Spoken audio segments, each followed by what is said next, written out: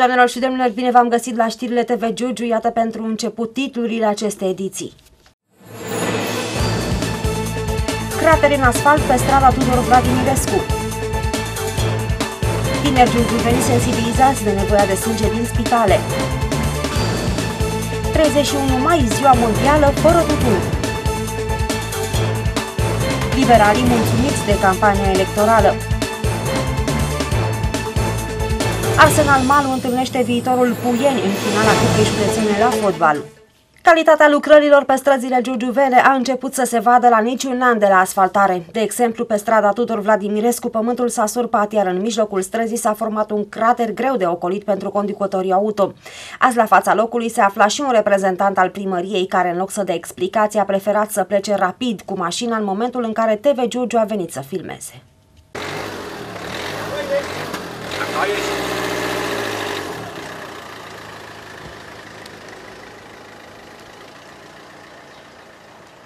Această groapă adâncă se află la intersecția străzilor Cuza-Vodă cu Tudor Vladimirescu. Zona abia ce a fost asfaltată anul trecut, însă acum începe să se vadă calitatea lucrărilor efectuate. Terasamentul a început să se surpe, iar craterul format îi pune în dificultate pe șoferii care tranzitează zona, dar și pe cei care locuiesc acolo.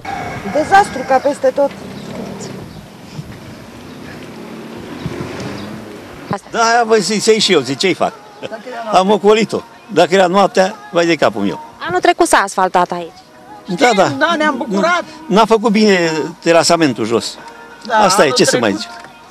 Bine că n-am dat cu roata în groapă. Când ne uitam, e foarte frumos. Când echipa TV Giurgiu a ajuns pe strada Tudor Vladimirescu la groapa din asfalt, un reprezentant al primăriei studia și el din priviri frumusețea de lucrare, numai că imediat ce a văzut camera de luat vederi s-a urcat rapid în mașină și a plecat în grabă fără să dea vreo explicație. Prin urmare, groapa a rămas acolo unde este, adâncă și nesemnalizată, dacă nu cumva între timp a venit cineva să o astupe pentru a nu pierde voturi.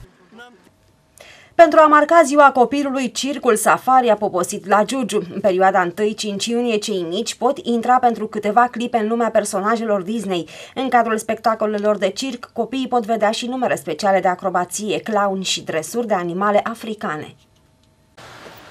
Timp de 5 zile, giurgiuvenii au posibilitatea să le ofere copiilor lor o altfel de distracție. Este vorba despre 5 zile dedicate spectacolelor de circ. În perioada 1-5 iunie, Circul Safari din Ungaria le va oferi micuților numere speciale de acrobație, clown și dresuri de animale africane. Circul Safari suntem, am venit din Ungaria suntem și suntem uh, mai multe animale, baza în spectacol cu Disney, costumașe pentru Mickey Mouse, Minnie, Donald, Goofy, Daisy, vă așteaptă copilul. Spuneți-ne când uh, vor fi spectacolele. Uh, 2 iunie începe, 2 și 3 avem la ora 7 seara, 4 și 5, sâmbătă și duminica la ora 4 și la ora 7 seara, două spectacole. Spectacolele de circ se desfășoară pe Bulevardul București, vis-a-vis de Spitalul Județean. Cei interesați pot merge la circ joi și vineri începând cu ora 19. Celelalte spectacole vor avea loc sâmbătă și duminică la ora 16, respectiv ora 19. Biletele costă 10 lei pentru copii și 15 lei pentru adulți. Organizatorii promit un spectacol inedit și le vor oferi celor mici posibilitatea să intre în lumea personajelor Disney. Nevoia de sânge din centrele de transfuzii, deci și din spitale, a mobilizat încă o dată un grup de tineri din Giurgiu. Aceștia, care de altfel nu se află la primul gest de acest fel, au mers de dimineață la centrul de transfuzii Giurgiu pentru a ajuta bolnavii a căror viață depinde de transfuzii. Centrul de transfuzii sanguine Giugiu din incinta policlinicii a avut activitate intensă în această dimineață. Mai mulți tineri giugiuveni s-au prezentat la centru pentru a dona sânge, având în vedere nevoia acută de sânge din spitale. Motivați, tinerii au completat formularele obligatorii și au efectuat analizele de specialitate, după care, plini de voință și curaj, au donat câte 400 de mililitri de sânge. Am înțeles că există un deficit de sânge la Centrul Județean de Transfuzie și am răspuns prompt uh, acestei solicitări de a veni în sprijinul Centrului Județean uh, și nu numai. Este de a dona sânge înseamnă să salvezi o viață, două, trei. Uh, Ne gândim în primul rând la cei suferinți, la cei care au probleme într-adevăr de, de sângele nostru și cei care sunt în dificultate. Voi nu sunteți la prima donare. Nu, suntem deja la a treia donare. În fiecare an ne-am făcut deja o tradiție, chiar de două ori pe an, dacă este cazul, și o să venim ori de câte ori este nevoie de, de sprijinul nostru. Potrivit statisticilor, unul din 10 pacienți care ajung la spitalele din România are nevoie de sânge sau de produse derivate din sânge, iar România este pe ultimele locuri în ceea ce privește donarea benevolă de sânge, multe intervenții chirurgicale din țară fiind amânate. Pachete de țigări în ambalaj neutru. Aceasta este propunerea Organizației Mondiale a Sănătății cu prilejul Zilei Mondiale fără tutun marcată anual pe 31 mai. Evenimentul are scopul de a conștientiza populația cu privire la povara socială enormă atrasă de fumat. În fiecare an, la 31 mai, Organizația Mondială a Sănătății marchează Ziua Mondială fără tutun, în încercarea de a atrage atenția asupra riscurilor majore pe care le prezintă consumul de tutun asupra sănătății. Tema de anul acesta promovează introducerea ambalajelor integral standardizate, având sloganul Un singur mesaj pe pachetul standard de tutun, avertismentul de sănătate. Concret, de pe pachetele de țigări vor dispărea elemente cum ar fi culorile variate, imaginile sau logourile, permițându-le producătorilor să imprime doar numele mărcii cu litere de dimensiuni standard scris într-un anumit loc de pe pachet, alături de avertismente referitoare la riscurile consumului de tutun asupra sănătății, precum și de informații legate de substanțele toxice conținute. Folosirea pachetelor standardizate va face aceste produse mult mai puțin atractive și va reduce totodată folosirea lor în scopuri promoționale, crescând în același același timp eficiența avertismentelor asupra sănătății. Acțiunile desfășurate cu prilejul Zilei Mondiale fără tutun la nivelul județului Giurgiu vor cuprinde activități adresate elevilor și activități adresate comunității locale. Se vor derula activități de informare, instruire, educare la școala gimnazială Academicia Marin Voiculescu din Giurgiu și la Liceul Tehnologic Hotarele activitățile în comunitate vor consta în prezentarea riscurilor fumatului și ale fumatului pasiv, precum și modalitățile de reducere a efectelor nocive ale consumului de tutun. Vor fi distribuite pliante și materiale de informare. Societatea Română de Pneumologie arată că în România se fumează zilnic peste 5 milioane de pachete de țigări, iar aproximativ 85% dintre pacienții cu cancer bronhopulmonar sunt fumători. Totodată, studiile au arătat că 89% dintre fumătorii din țara noastră și-ar dori să reducă numărul țigărilor sau să renunțe complet la fumat. Efectele negative ale fumatului nu se limitează doar la fumător, ci se resfrâng dramatic și asupra celor celor aflați în proximitatea sa. Fumatul pasiv este tot mai frecvent recunoscut ca factor de risc la locul de muncă și ca o amenințare la adresa sănătății publice. Numeroase studii arată că fumatul pasiv este o cauză a bolilor cardiace și a cancerului pulmonar la adulții expuși. Spitalele de stat pierd tot mai mult teren în fața celor private. Așa arată un sondaj realizat de IMAS și Centrul pentru Inovație în Medicină, potrivit căruia 65% dintre respondenți au încredere în spitalele private și doar 35% în unitățile medicale de stat.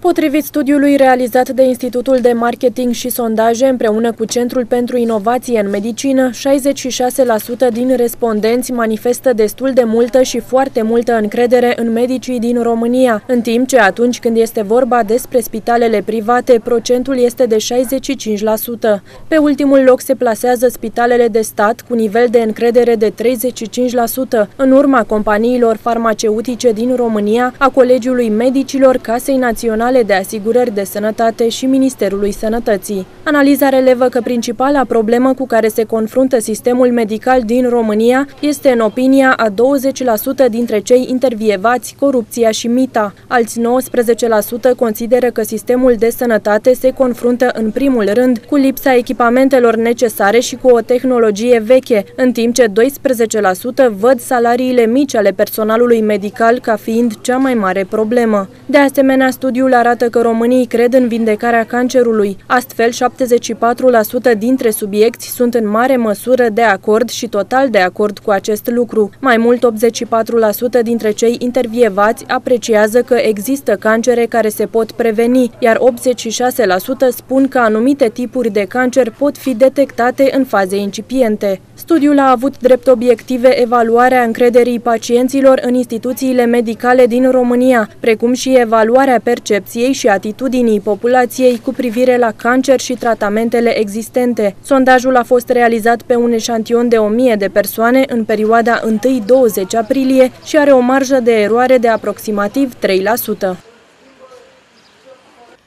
Alături de Al Pacino în Recruit sau Bruce Willis în Hearts War, irlandezul cunoscut sub numele de Colin Farrell este actorul care a avut șansa de a juca în numeroase filme de succes.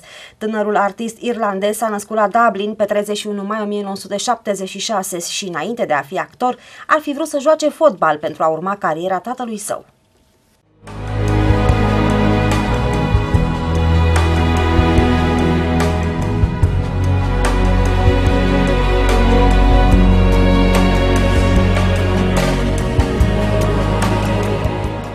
În lumea fotbalului își dorea să-și construiască o carieră Colin James Farrell, mai ales că tatăl său practica acest sport, numai că soarta a vrut ca irlandezul, născut pe 31 mai 1976, să devină actor și încă unul de mare succes. În filmele sale, binecotate de critică și public, Colin Farrell a avut drept parteneri mari nume ale filmului de peste ocean, precum Al Pacino în Recruit, Bruce Willis în Hearts War sau Tom Cruise în Minority Report. Bruges, Triage sau Miami Vice sunt alte filme de succes al lui Colin Farrell.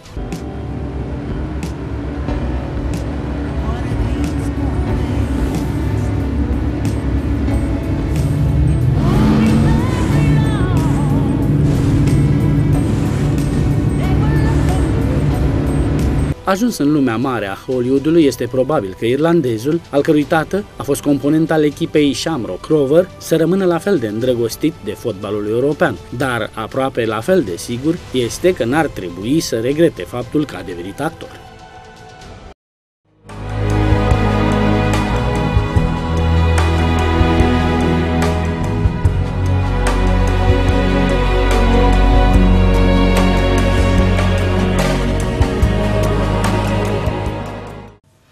Jurnalul continuă acum cu buletinul informativ pentru alegerile locale din 5 iunie.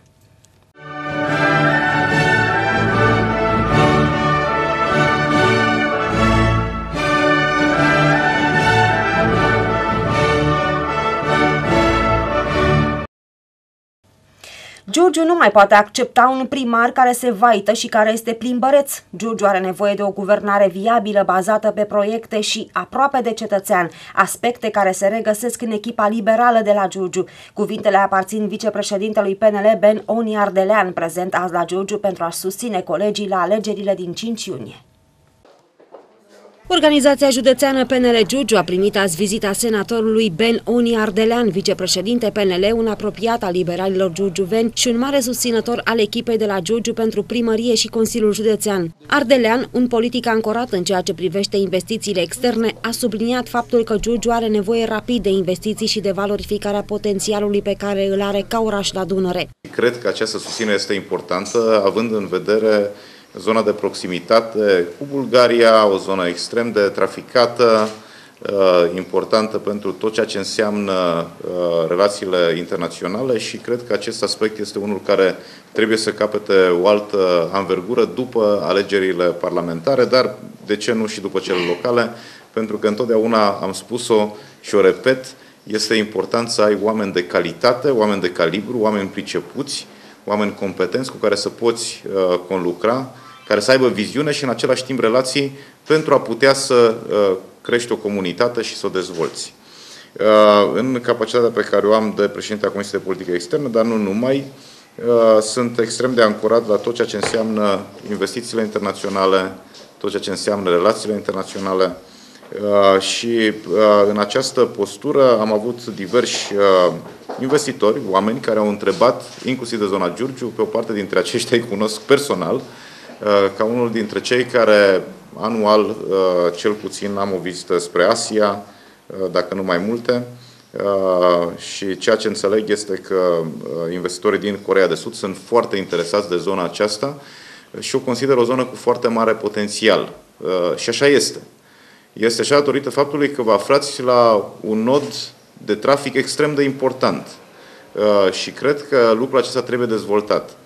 unul dintre lucrurile pe care le-am aflat din uh, drumurile în afară este că această zonă este una dintre zonele care poate să fie un pivot pentru tot ceea ce înseamnă distribuție, dar și pentru tot ceea ce înseamnă uh, atragerea de capital pe zone investiționale care au nevoie de uh, un nod uh, de legătură uh, din toate punctele de vedere a transportului. Uh, și cred că lucrul acesta îi dă greutate uh, Giurgiului. Ce este important și ce consider eu important este că această investiție, despre oțelărie vorbim, dar și despre alte potențiale Uh, investiții pe uh, zona agricolă, pe uh, zona de depozitare, de distribuție, să fie viabile, însă toate aceste lucruri nu le poți face decât cu oameni cu viziune. Oameni care au capacitatea de interconectare și relațiile sunt extrem de importante, vreau să știți, pe zona internațională, pentru că investitorii nu vin așa, avem noi vorba românească, pară măleață, ci vin atunci când sunt căutați vin atunci când li se ofertează uh, diverse facilități care să poată să-i atragă în România. Uh, bineînțeles că aici ne batem nu doar noi în garsoniera noastră, cum spun deseori, uh, ci suntem într-o competiție internațională. De ce n-ar merge în Bulgaria, de ce n-ar merge în Moldova, de ce n-ar merge în Turcia? Și tocmai de aceea este nevoie de uh, un, uh, un, o guvernare locală extrem de abilă să știe să ofere acele facilități care să atragă investitorii. Cred că lucrul acesta este extrem de important să-l înțeleagă locuitorii Giurgiului. Pentru că doar cu uh, oameni uh, cum este domnul Nicolae, putem să construim și putem să aducem acești investitori în localitate.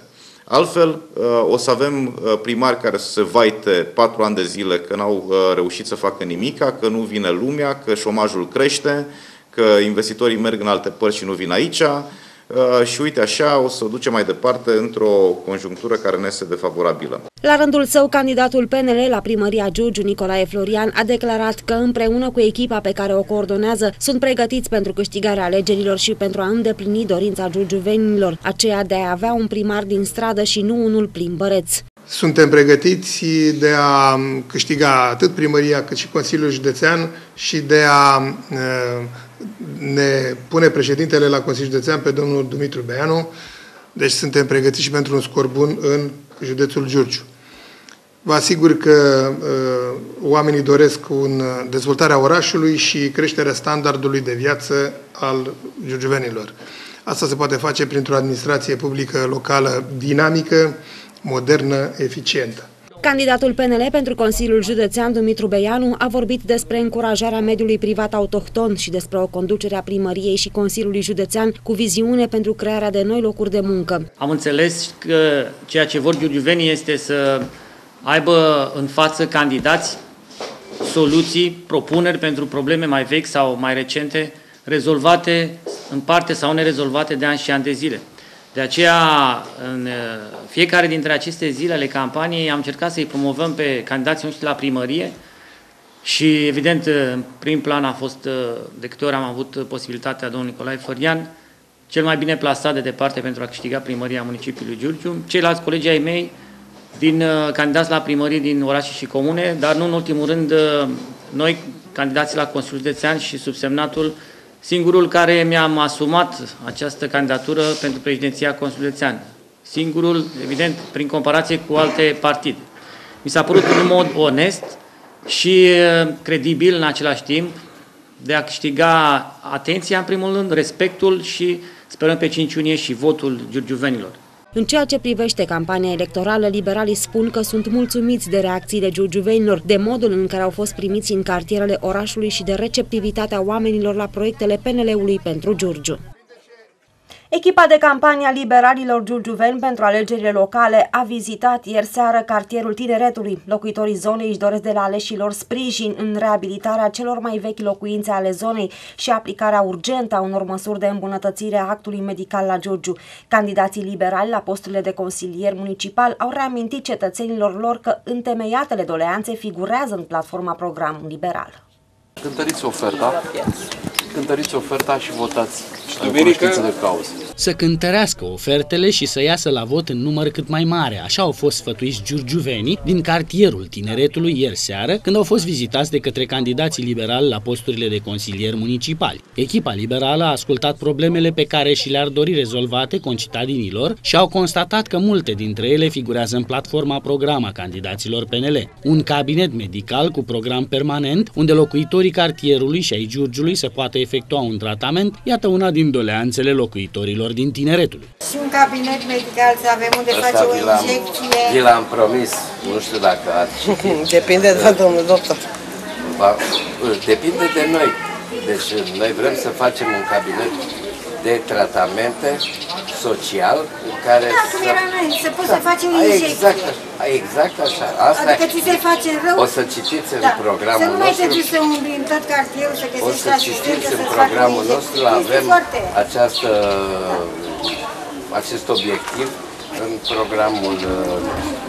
Reabilitarea celor mai vechi blocuri din cartier și din zona fabricii de zahăr a reprezentat o altă propunere a celor din cartierul tineretului. Solicitările anterioare de sprijin pentru consolidarea și modernizarea locuințelor au rămas însă fără rezultat până acum. Și nu mi-a aprobat nici a doua Ca să vedeți, doamnă, ce înseamnă dezinteres și toate cele, că putea să o facă și să dea un exemplu, fiindcă blocul de aici putea să mie îmi place foarte mult. Planurile liberale de refacere a blocurilor urmează o linie modernă și civilizată, dând o înfățișare plăcută zonei și o altă utilizare a spațiului exterior. Nu mă interesează zona cu țiglă, pe banii primăriei, cu terase. Cei de la etajul 1 vor beneficia de acea terasă, iar cei de dedesubt de la parter de spațiu adecvat de sub terasă. M-ați înțeles? Da. Fiindcă trebuie să dăm o notă de civilizație și ceea ce vedem și fiul dumneavoastră în alte părți se poate construi și la noi. Scoaterea apei de la parterul blocurilor a reprezentat o altă problemă a cetățenilor din cartier și se speră în sprijinul primit de la viitoarea administrație giurgiuveană. Roata de jos a fost până în urmă cu aproximativ 10 ani o comună emblematică a județului Giurgiu cu un grup industrial petrolier unde lucrau numai puțin de 3.000 de muncitori. Din păcate, schela petrolieră s-a închis și astăzi comuna este în declin, iar locuitorii își doresc o mare schimbare. Cândva mândria județului, comuna Roata de Jos a ajuns în zilele noastre o comună de nerecunoscut. Tragedia locuitorilor fiind legată de lipsa locurilor de muncă, îndeosebi după ce schela petrolieră Roata s-a închis. Grupul industrial al schelei de petrol Roata era gura de oxigen a comunei, aici lucrând aproximativ 3.000 de muncitori, mulți dintre ei localnici. Schela petrolieră aducea și mulți bani la bugetul comunei, fiind un factor de echilibru economic, care conta foarte mult pentru viitorul locuitorilor. Din 2005 la schela au început disponibilizările și situația s-a înrăutățit. În prezent, grupul industrial fiind o curte aproape părăsită, scoasă la vânzare, în care mai ființează doar un grup de pompieri. Dacă n-a avut nimeni cine să susțină situația schelei de la Roata, uh, ușor, ușor s-a mutat și în videle, dar mai mult la schela Poieni, în Telorman. Am avut uh, personal muncitor la atelierul de recondiționat material tubular în incinta schelei Roata. La ora actuală nu mai sunt nici strunguri, nu mai nici atelier mecanic, nici atelier de IC5-uri, de auto și așa mai departe. S-au mutat toate în Telorman. Datorită faptului că nu a avut nimeni cine să susțină comuna roata de jos, să avem și noi locurile de muncă cum le avea. Din anul 2004 și până în prezent, în Comuna Roata este primar Marin Ghidănac, aflat acum la finalul celui de-al treilea mandat, Marin Ghidănac fiind susținut pe rând de PNL, apoi de PDL, iar acum de către PSD. Locuitorii comunei sunt nemulțumiți de prezent și privesc cu nostalgie în urmă. Uh, mă numesc Laurențiu Dragne, uh, am terminat facultatea în 2002, uh, după ce am terminat facultatea, primul meu loc de muncă a fost aici, în cadrul Petroservisului care aparținea de, care executa lucrări pentru schela de petrol roata de jos. În 2007 am plecat, a trebuit să, a trebuit să, să plec, datorită restructurărilor, a trebuit să plec în mediul privat. Uh, după care, fiind locuitor al Comunei Roata, uh, totul, uh, după cum se vede, nu mai, este, nu mai există nimic. Tinerii aveau oportunitate, mai ales cei din roate de jos, să să poată lucra. Uh, totul era dezvoltat în zonă. Pentru roata de jos a fost foarte prost. Toate taxele și impozitele mergeau la primărie, erau înfloritoare. Acum, având în vedere că au plecat, uh, totul au rămas doar pentru cei privați mici, Acum, pentru zona noastră, e destul de greu. Începem să ne orientăm în mediul privat. Tinerii de aici, din zonă, au plecat. Acum, viitorul nostru nu mai există. Vom vedea de acum încolo ce, ce vom putea face alături de o altă echipă tânără și să atragem fonduri europene și să încercăm să aducem schela petrol înapoi la roata, pentru că așa a fost în 64, s-a născut aici și ar fi bine să rămână în continuare tot aici. Povestea schelei petroliere de la Rota de Jos o știu toți locuitorii și în locul ei trebuie pus ceva real, care să redreseze situația comunei. Locuitorii așteaptă cu nerăbdare alegerile din 5 iunie și își doresc un nou primar care să ajute comuna și oamenii locului. O variantă agreată de locuitorii din Rota de Jos este candidatul PNL la primărie, Marin Constantin, care ne-a declarat că a discutat deja cu unii potențiali investitori pentru a-i sprijini să investească în comună, stabilindu-se în spațiul schelei, unde speră să dezvolte afaceri și să creeze locuri de muncă, pentru ca rota de jos să fie cel puțin ceea ce era cândva. În prezent, așa arată grupul industrial Roata de Jos, unde oamenii nu mai au locuri de muncă, nu mai, nu mai găsesc locuri de muncă nici la întreprinzătorii privați și nici la un grup industrial. Continuăm jurnalul cu rubricile sport și meteo.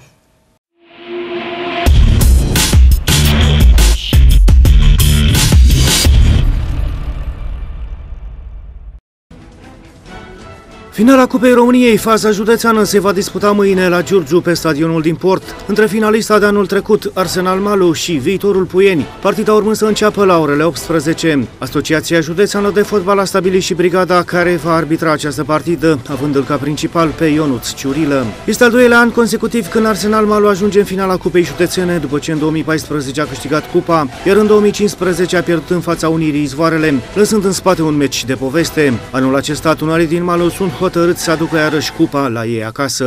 Mergem cu încredere, chiar dacă jucăm cu echipă de Liga 5 trebuie să tratăm meciul serios.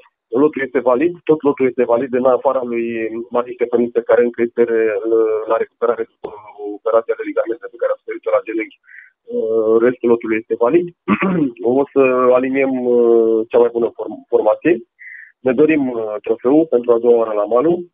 Anul trecut am pierdut finala în fața celor de la Izorle și în acest an vrem să, vrem să readucem trofeul la Malu. Arsenal Malu este echipa cu cei mai mulți marcatori în top 10 al golgheterilor seriei Sud, respectiv cu Gelescu, Damian și Danciu, dar topul este condus la distanță de atacantul campioanei Dunărea Giurgiu, Ion Fuerică, care în acest sezon a punctat de 52 de ori.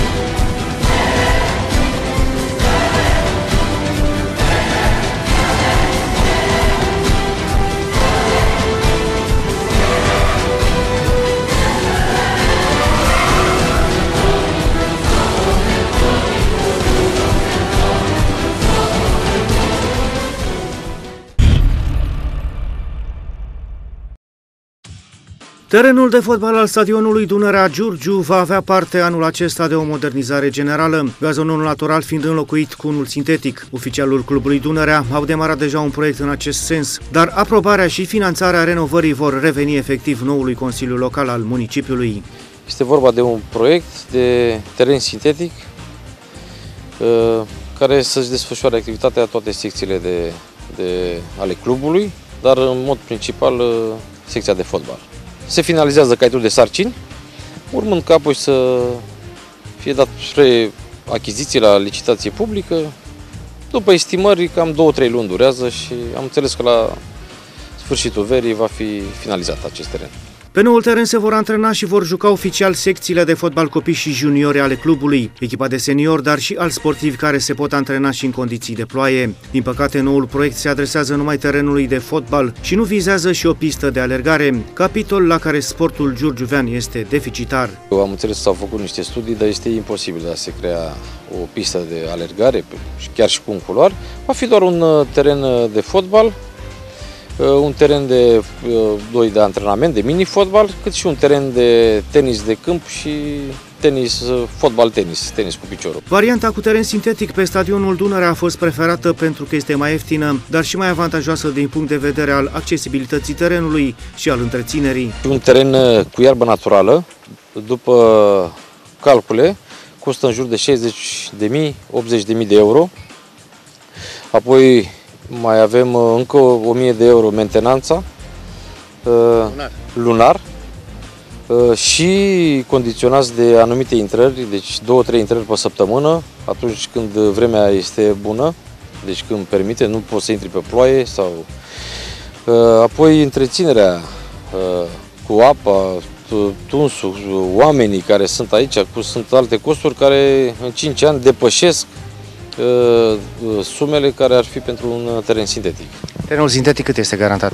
Uh, minim 10 ani avem garanție la terenul sintetic uh, și nu mai suportă nicio întreținere, îl folosim fără, fără nicio condiție. Privind lucrurile obiectiv, stadionul Dunărea necesită mai multe îmbunătățiri, pornind de la tribune și de la scaunele acestora, până la căile de acces în stadion.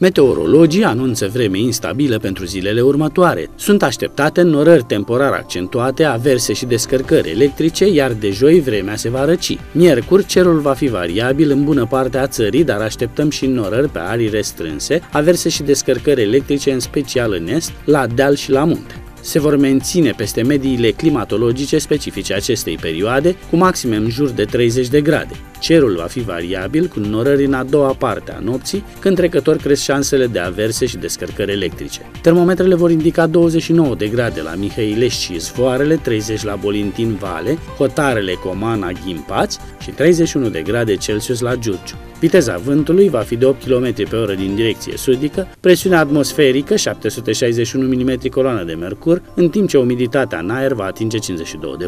Apele Dunării sunt în scădere cu 45 până la 55 de centimetri, cota probabilă fiind 295 de centimetri.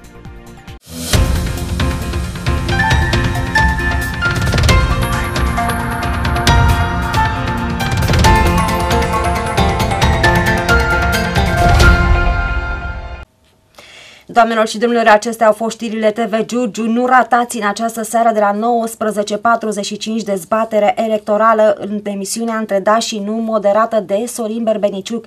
Invitați sunt șase dintre candidații la fotoliul de primar al municipiului Giurgiu. Eu sunt Nicoleta Pană, vă mulțumesc pentru că ne urmăriți toate cele bune.